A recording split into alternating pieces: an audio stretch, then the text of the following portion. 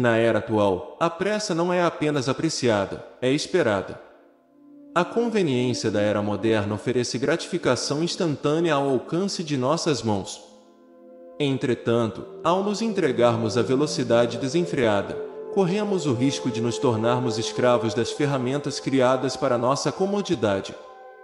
Vivemos em um ciclo constante de busca pelo próximo momento, pela próxima satisfação, sem nunca realmente saborear o presente. É neste contexto frenético que surge o movimento Slow Living.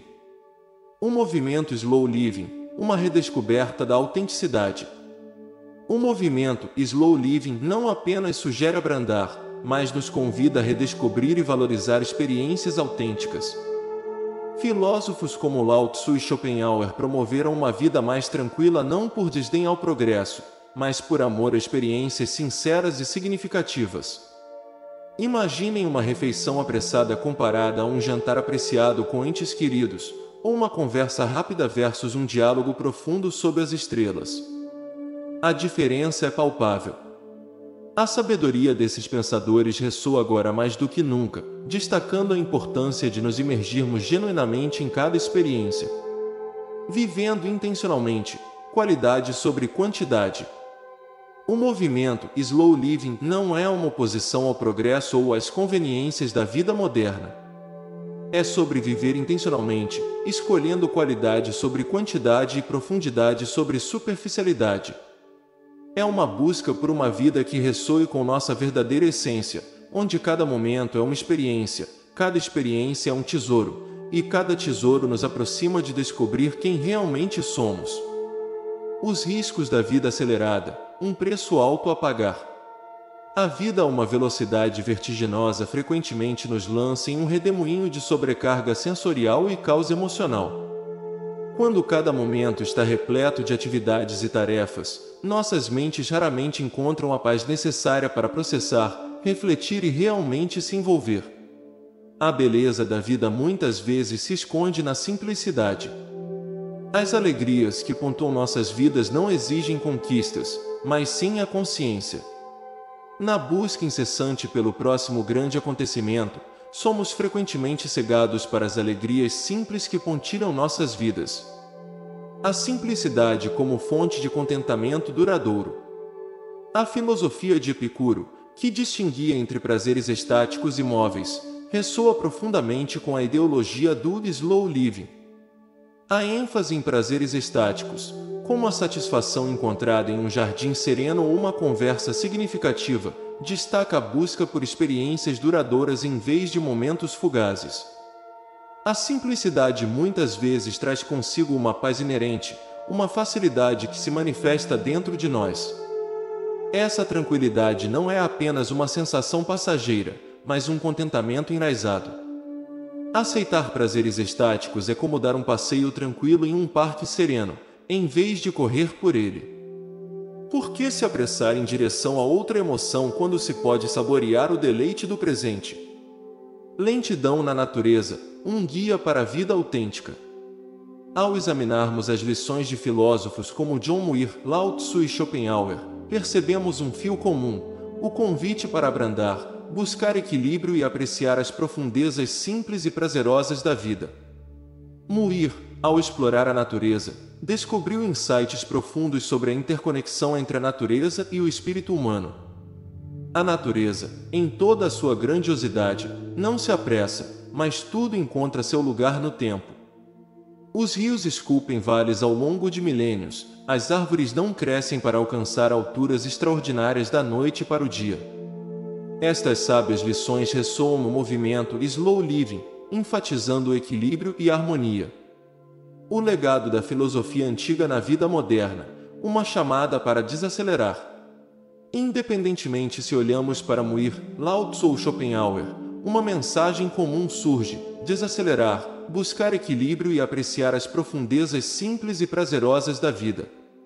Este convite à lentidão pode ser nosso caminho para alegria autêntica, realização e contentamento, elementos muitas vezes elusivos na frenética velocidade da vida moderna. Prazeres duradouros. A filosofia do slow living na vida diária. Ao explorarmos mais profundamente a filosofia estoica, encontramos uma conexão natural com o ethos do slow living. Os estoicos consideravam a tranquilidade como o ápice da existência, e sua abordagem para alcançá-la ressoa com a ideia de fazer menos, mas garantindo que o que é feito esteja alinhado com nossa essência ou propósito.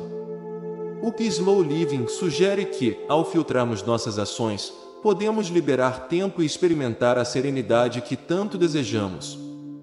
Priorizar, concentrar-se no essencial e simplificar a vida são preceitos fundamentais dessa filosofia. Agir com deliberada lentidão não apenas aprimora a qualidade de nossas ações, mas também oferece uma vida mais pacífica e significativa. Incorporando o slow living na vida cotidiana. Implementar o slow living em nossas vidas cotidianas não significa abandonar totalmente as conveniências modernas. É mais sobre adotar uma mentalidade. Comece avaliando sua rotina diária. Você se sente sobrecarregado com compromissos consecutivos? Talvez seja hora de desacelerar sua agenda. Aprenda a dizer não a tarefas ou eventos que não se alinham com seus valores fundamentais. Cada sim é um não para algo mais, potencialmente algo mais vital.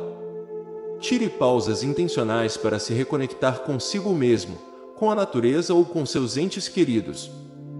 Esses momentos de pausa podem rejuvenescer seu espírito, tornando-o mais eficaz em seus empreendimentos. O Slow Living é uma filosofia e um estilo de vida. Trata-se de buscar profundidade em vez de extensão, qualidade em vez de quantidade, e experimentar genuinamente cada momento em vez de simplesmente passar por ele. Em um mundo que está sempre correndo para frente, talvez seja hora de dar um passo atrás, respirar fundo e saborear a jornada. Desconectando para se reconectar, a importância do distanciamento tecnológico. Desconectar-se da tecnologia é, sem dúvida, um método poderoso para se imergir no mundo do slow living. A era atual, marcada por maravilhas tecnológicas, frequentemente nos prende a dispositivos, recebendo notificações constantes e nos envolvendo em uma teia de comunicação digital. Embora o slow living não defenda o abandono completo dessas ferramentas, enfatiza um uso mais criterioso e consciente. Desconectar-se regularmente, especialmente durante as refeições ou momentos de reflexão pessoal, é um passo simples. Essas pausas ajudam a realinhar nossa atenção para o momento presente, longe do influxo incessante de informações. Mindfulness ancorando-se no presente para uma vida mais plena. A prática do mindfulness é uma maneira eficaz de afundar-se no slow living. Ancorar-se no presente, enfatizando a imersão completa na tarefa ou experiência atual, é a essência do mindfulness. Atividades como meditação e yoga não são apenas exercícios físicos ou mentais, mas portais para essa mentalidade de foco no presente. A prática consistente dessas atividades promove uma consciência aprimorada de nosso entorno, emoções e reações, tornando-nos mais sintonizados e receptivos às marés e fluxos da vida. Caminhada consciente, uma jornada para reduzir o estresse e aumentar o bem-estar. Uma prática adicional é a caminhada consciente. O objetivo não é alcançar um destino, mas mergulhar na jornada, apreciando o sussurro das folhas, a textura da casca, a dança de luz e sombra, e os inúmeros sons e visões que a natureza oferece. Essa imersão demonstrou diminuir significativamente os níveis de estresse e melhorar o bem-estar descobrindo que menos é realmente mais. No mundo que muitas vezes glorifica a velocidade, a eficiência e a multitarefa, o atrativo da pista rápida pode ser intoxicante. No entanto, o Slow Living oferece uma experiência mais rica ao escolher abraçar a vida de maneira mais deliberada e profunda. Ao descartar a ideia de que mais é sempre melhor, descobrimos que menos é, de fato, mais. Através do slow living, desenterramos as alegrias da conexão profunda, da presença e do prazer simples e profundo de apenas ser. Agradeço por acompanhar este conteúdo. Se você gostou, por favor, curta e inscreva-se para mais vídeos. Até a próxima, cuide-se e adeus. Gratidão. Namastê.